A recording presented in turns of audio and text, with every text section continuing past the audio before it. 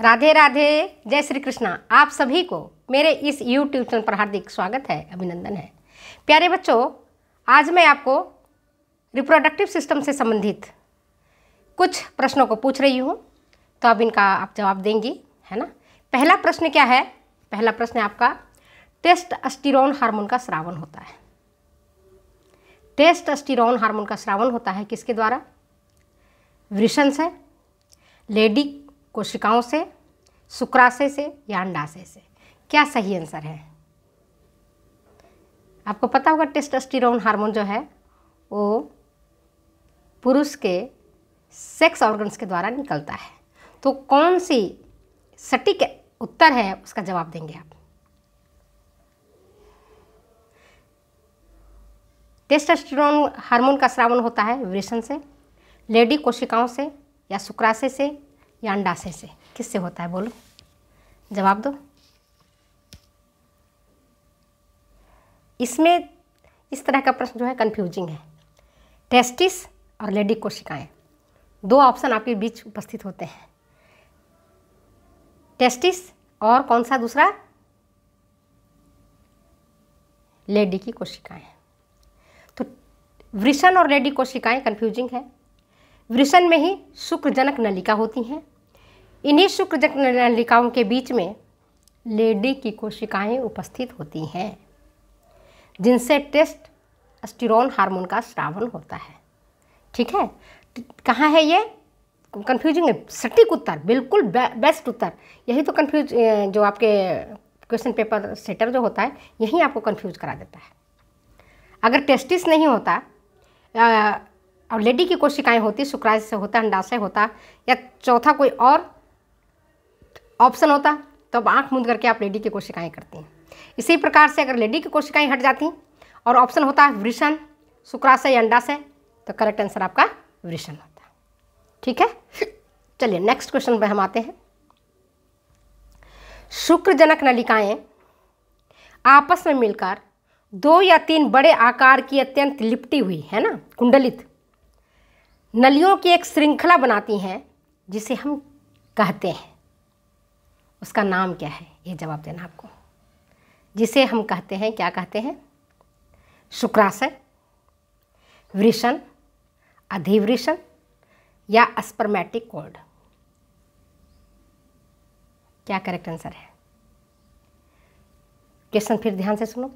शुक्रजनक नलिकाएँ आपस में मिलकर दो या तीन बड़े आकार की अत्यंत लिपटी हुई नलियों की एक श्रृंखला बनाती हैं, जिसे हम कहते हैं शुक्राशय, वृषण, अधिवृषण या स्पर्मेटिक कोड। करेक्ट आंसर क्या हमारा? अधिवृषण एपीडी डाइमिस टेस्टिस आपको पता ही है, बाहर की तरफ़ जो लटकता हुआ दो अंडकोश होता है है ना? उसको हम कहते हैं। स्पर्मेटिक कोड जिस रस्सी से वो लटका हुआ रहता है। शुक्राशय आप जानते हैं, जहाँ पर शुक्राणुओं का संग्रह होता है ना, शुक्राशय। ठीक है? नेक्स्ट क्वेश्चन तीसरा क्वेश्चन है आपका, वो ये, शुक्राणुओं का निर्माण होता है। शुक्राणुओं का निर्माण कैसे होता है, ये बताओ? स्पर्मेटोगोनिया द्वारा प्रोस्टेट ग्रंथि द्वारा, कूपर की ग्रंथि द्वारा, या इनमें से कोई नहीं? कौन सा सही उत्तर है? कौन सा सही उत्तर है? शुक्राणुओं का निर्माण होता है स्पर्मेटोगोनिया द्वारा, प्रोस्टेट ग्रंथि द्वारा, कूपर की ग्रंथि द्वारा या इनमें से कोई नहीं? करेक्ट आंसर है इसका स्पर्मेटोगोनिया। वृषण में शुक्रजनक नलिकाएँ होती हैं और प्रत्येक शुक्रजनक नलिकाएँ एक महीन आवरण द्वारा ढका रहता है। इसी आवरण के भीतर जनक कोशिकाएँ, है ना? जर्मिनल एपिथेलियम का एक लेयर रहता है। मैंने रिप्रोडक्टिव सिस्टम को जब आपको पढ़ाया था, तब आपको डिटेल से बताई थी, उसको आप देखना, समझ में आ जाएगा। इसी जनक उपकला में गोलाकार और कुछ स्तंभ के आकार का, पिलर के आकार का, है ना? कोशिकाएँ होती हैं और इनमें से जो गोलाकार कोशिकाएँ होती हैं, उसको ही अस्पर्मेटोगोनिया कहते हैं और उस अस्पर्मेटोगोनिया से ही शुक्राणुओं का निर्माण होता है। तो मैं समझती हूँ कि ये तीन क्वेश्चन तो आपको क्लियर हो गया होगा। नेक्स्ट क्वेश्चन है आपका। शुक्राणुओं को के पोषक तत्व एवं ऑक्सीजन प्रदान करती हैं। शुक्राणु को आगे बढ़ने के लिए, है ना? मैच्योर होने के लिए, परिपक्व होने के लिए पोषक तत्व ज़रूरी है, ऑक्सीजन ज़रूरी है।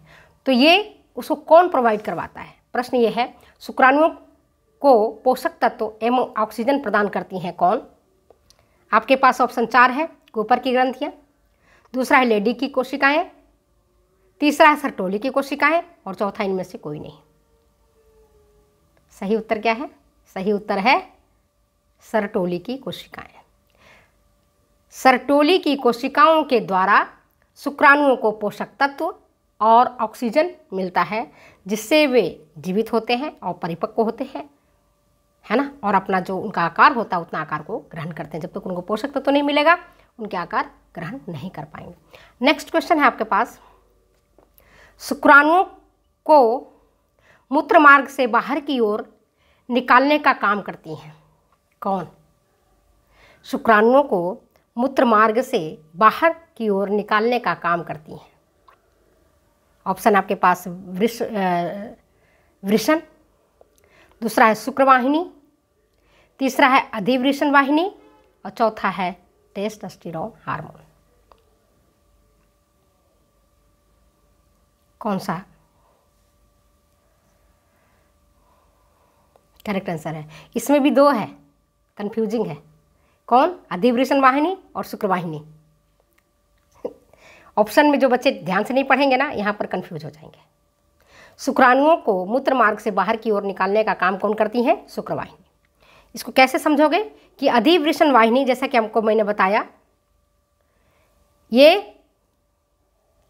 एपिडिडाइमिस होता है, वह नलिका होती है। और ये जो छोटी मोटी नलिका, आपस में कुंडलित नलिका होती है, एक डक्ट का निर्माण करती है, एक सीधी नलिका का निर्माण करती है, जिसको ही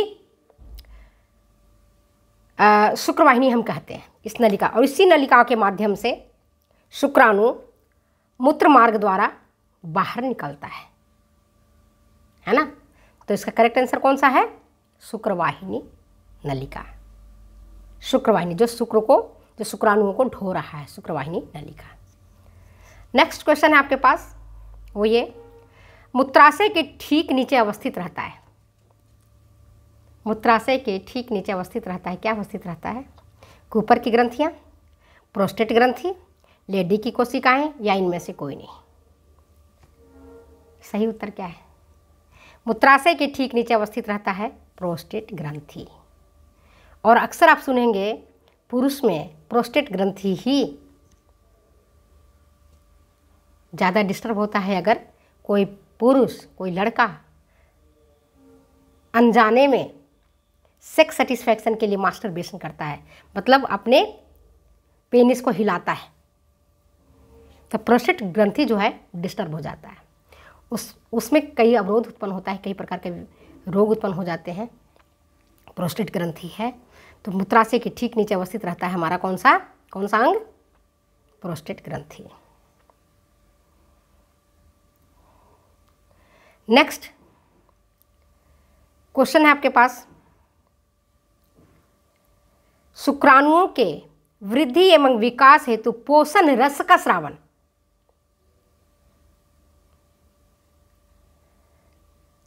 शुक्राणुओं के वृद्धि एवं विकास हेतु पोषण रस का श्रावण कौन करता है? इसके पहले मैंने प्रश्न पूछा था। दोनों के लैंग्वेज में, दोनों के भाव में अंतर है। यहाँ पर क्या पूछ रही हूँ? शुक्राणुओं के वृद्धि एवं विकास हेतु पोषण रस का श्रावण करता है। पहला ऑप्शन है प्रोस्टेट ग्रंथि, दूसरा है कूपर ग्रंथि, तीसरा है टेस्टास्टिरोन हार्मोन और चौथा है सरटोली की कोशिकाएँ।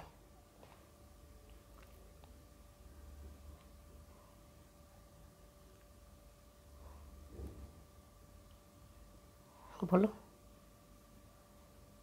करेक्ट आंसर कौन है इसमें? पोषण रस का श्रावण होता है प्रोस्टेट ग्रंथि के द्वारा। प्रोस्टेट ग्रंथि के द्वारा शुक्राणुओं के पोषक तत्वों का श्रावण होता है। नेक्स्ट एक क्वेश्चन और है। वो ये, अक्सर एग्ज़ाम में आता है, शुक्राणु के किस भाग में क्रोमोजोम्स और जीन्स होते हैं? क्या आपको पता है? इस प्रश्न का उत्तर मैं नहीं बताऊँगी। पहला प्रश्न है आपका कि शुक्राणु के किस भाग में क्रोमोजोम्स और जीन्स उपस्थित होता है? दूसरा प्रश्न है आपका, स्त्री प्रजनन अंग में शुक्राणु कितने दिन तक जीवित रहता है? सामान्यतः, कितने दिन तक जीवित रहता है? स्त्री प्रजनन अंग में शुक्राणु कितने दिन तक जीवित रहता है? और तीसरा प्रश्न है, प्रोस्टाग्लैंडिन्स का श्रावण होता है कहाँ से? ये तीन प्रश्नों का जवाब आप देंगे, क्योंकि मैंने इस प्रश्न को पहले भी बताया हुआ है। अगर आपने इस वीडियो को देखा होगा तो आप ज़रूर इसका उत्तर दे पाएँगे। तब तक के लिए इजाज़त दीजिए। हमें जाने के लिए फिर मिलते हैं हम अगले वीडियो में, अगली बातों के साथ। Okay bye